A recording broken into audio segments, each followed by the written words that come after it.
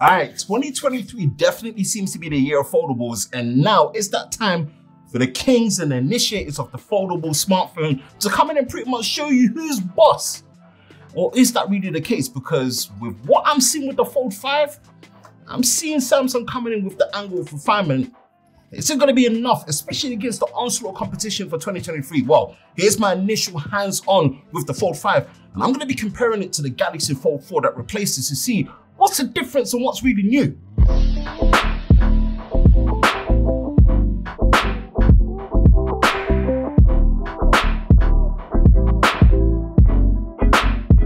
All right, for context, I had brief hands-on with the Fold 5. This was probably around 30 to 45 minutes considering there were new products from Samsung as well, like the Flip 5 and the Watch 6 Classic amongst the new Tab S9 series. So it really gives a bit of context that, yeah, I do need to get my review units in to really test it to see how they compare. But this is more of an initial hands-on in comparison against the Fold 4 to see what's the difference and what's really new. So yeah, let's get into it. The design and build quality. Well, let me just say this. It seems like it's a case of deja vu where if it ain't broke, don't fix it, but kind of refine it, chisel around it and make it better. In this particular case, Samsung have done something that, yeah, we have been waiting for. So there is now a near enough zero gap hinge, which means finally one of the things I complained about, you can still have that and still maintain an IPX8 water resistance. Again, still no dust resistance because it's moving parts and the foldable, but I'm so glad to see that the hinge has been closed up for that flat design and look much better aesthetically. And again, it just stops all the lint and small particles from going into the inner display, which is something I just really didn't like, especially the aesthetics of it as well. And hey, it looks like Samsung put the Fold 5 on the diet because it is 10 grams lighter at 253 grams. Now I'm gonna be honest with my brief hands-on with it, it didn't really feel any noticeable when it came to the weight reduction compared to the Fold 4. But I guess for the nature of the device, every little helps in terms of the weight saving. Yeah, it's slightly slimmer, but again, these are so negligible that really next to them when I was holding it and using it and seeing it, it wasn't really much difference between the Fold 5 and the Fold 4 when it came to that form factor. It really feels like the same phone, but I appreciate the zero gap hinge. Now visually, it's gonna be a case of spot the difference because the only real way to really see the difference is the new icy blue color because the phantom black and the beige color is what we've been used to. And if you see them next to the Fold 4, you're gonna really struggle to tell the difference between the two. Again, you do have Corning Gorilla Glass Victus 2 for the front cover display as well as the back cover, as well as things like improvements to the hinge and they've talked about a dispersion layer for better protection, all the little non-visual to visual changes. It's pretty much the same phone with just small trimmings here and there. And I'll be dead honest, we were really expecting them to change the form factor to give us something closer to a 21 by 9 or 20 by 9 aspect ratio because it's really the same form factor. But the design and the build quality, it's been refined. I'm still up in arms and just reserving my thoughts until I actually get to spend time with it, but it really does feel very similar indeed. Next is the display experience. And again, I'm not gonna bore you with all the specs and the hardware of the display experience because guess what? It's exactly the same as the Fold 4. And we're talking about the 6.2 inch outer cover display with that candy bar remote form factor, which is more close to like 23.1 by 9 aspect ratio. It's a HD plus display, 120 hertz, and it's adaptive between 48 hertz. It's the same display in that retrospect. And the same for the inner display as well, which is 7.6 inches compared to the Fold 4. Same resolution, same refresh rate. The biggest benefit to the inner display is the fact that it gets the same maximum brightness as the S23 Ultra, which is 1750 nits, which I appreciate. I don't remember them mentioning anything about the outer display having that, so just take that for what it is. And again, it does have S Pen support. And remember, you do need a special edition of the S Pen, just like with the Fold 3 and the Fold 4 that you're gonna need. But again, they made the special edition S Pen for the Fold slimmer, more compact. There's a case that's slimmer, that makes packaging it more compact. It's still a far cry from us actually having a silo to put the S Pen in, like we do with the S23 Ultra.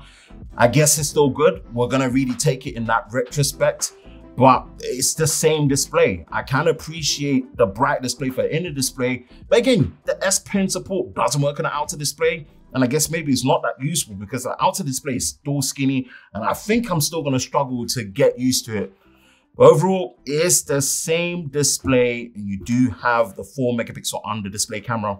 No changes there from what they told, but again, more on the specs and processing later. They're saying that that's improved in that retrospect. That's the display experience.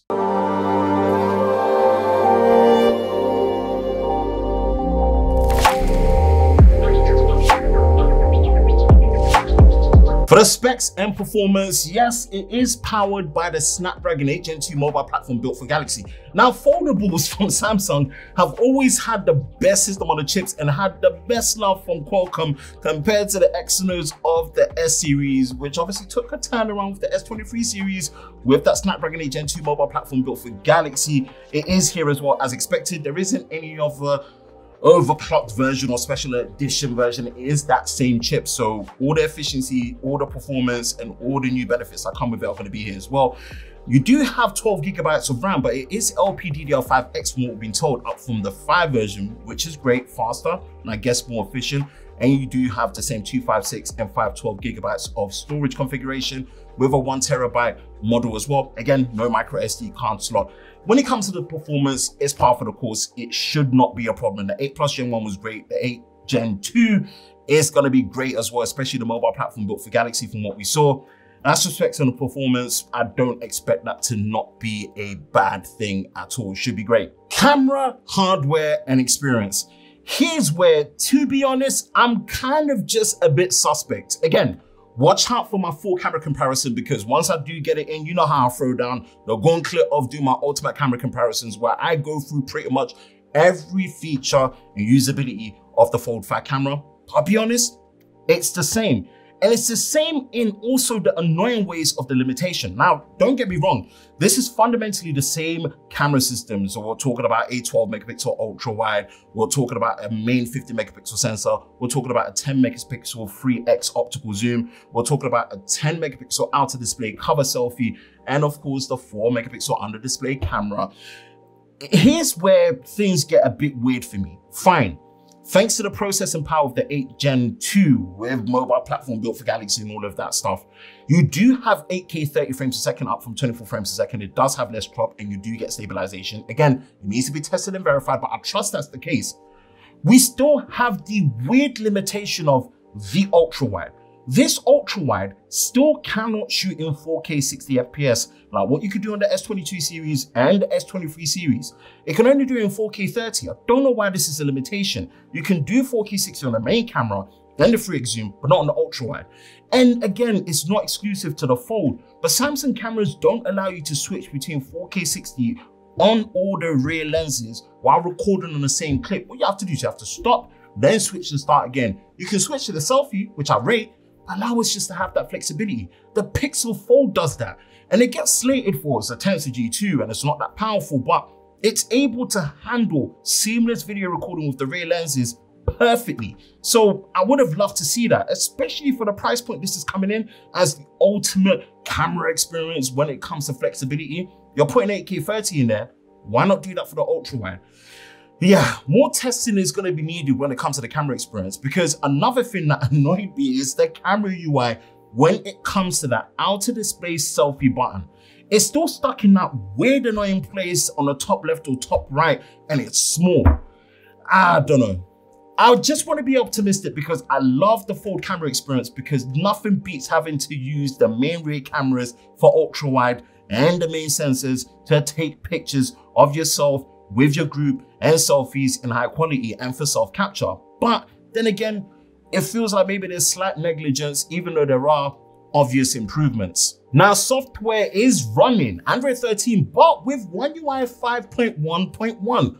How many point ones do you need, Samsung? But yeah, the Fold device next to the Flip 5, which we're going to talk about in a separate video, pretty much are the first devices to have the absolute latest version of One UI on Android 13. Again, we know Android 14 One UI 6 beta is going to be around the corner and probably a public release maybe around September, October period. But for now, this is the latest version. What's new? Again, I'm not really too much of a software junkie as such, but the biggest thing that we're talking about is the improvement to the taskbar with your recent apps. Because in the past, with the taskbar, you only had two recent apps that you could switch to, you know, switch through very seamlessly, but it can go up to four. So it does allow you to do that. You've got things like hidden apps. There's so many other different things in there, but fundamentally, it's still Android 13 with all the things we've come to know and love when it comes to One UI. And to be fair, credit where credit's due, when it comes to especially the inner display software experience, Samsung have nailed it. They pioneered it. They've near enough perfected it, brute forced it,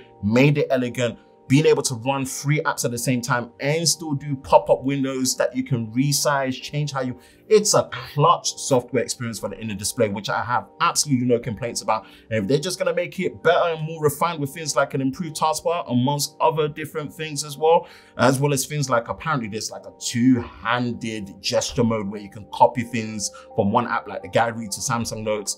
Yeah, it's, it's, it's clutch, it's clutch, it's clutch. But yeah, software-wise, pretty much very up to date when it comes to One UI. Now, another place that maybe kind of worries me, but doesn't at the same time because of my previous experience with the 8 Plus Gen 1 and the battery is the battery cell. Yeah, it's still 4,400 milliamps, still supports 25 watt wire charging, right? I'm not gonna say fast, it's wire charging, 15 watt wireless and 4.5 watts with the reverse wireless charging with PowerShare. I really was hoping to get at least 4,800 milliamps, but again, I do trust the 8 Gen 2 mobile platform built for Galaxy SoC to be a bit more efficient, but yeah, only time will tell, but I did have a great experience with the 8 Plus Gen 1 on the Fold 4, so I think it should follow up really well. Whereas conserving the inner display brightness as well, but let's wait and see how that looks like. Right, it looks like this year due to inflation and other little things, it looks like we do have a slight price increase where it starts at £1,749 for the base model 256 and it goes all the way up to £2,049 for the one terabyte model. I'm a fold person. I'm a fold person and the fold foldable form factor is my favorite, but I don't know. I'm a bit, bit worried that compared to the Fold 4, how different is it? Yeah, spot the difference with the icy blue, but everything else, is it going to be enough, especially against the onslaught and the competition that they've been bringing out their foldables this year? Yeah, only time will tell. But again, the king is back. How long it's going to stay on the throne is one thing. What's your thoughts on the Fold 5, especially compared to the Fold 4 and the competition like the Pixel Fold and the other foldables that are out there with Honor and potentially OnePlus as well bringing out a foldable. Let me know in the comment section below. That's it for me, Ben from Lover of Tech. If you enjoy videos like this, you know exactly what to do. Hit the like button, hit that subscribe button, hit that notification bell. So you're part of Team TLS to Tech Lover Squad so you don't miss any future videos on the channel. I hope you're all safe during this time. I will catch you in the next one. Peace.